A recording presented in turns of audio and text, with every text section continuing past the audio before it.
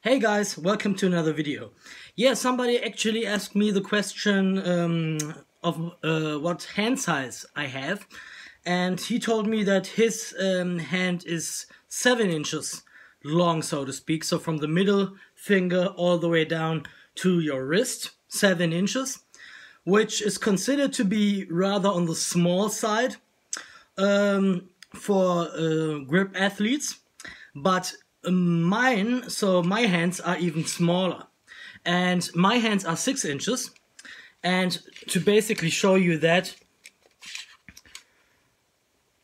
I give you here the numbers. Right, don't let it slide away. Some That's sometimes the problem, right? If, if it slides away.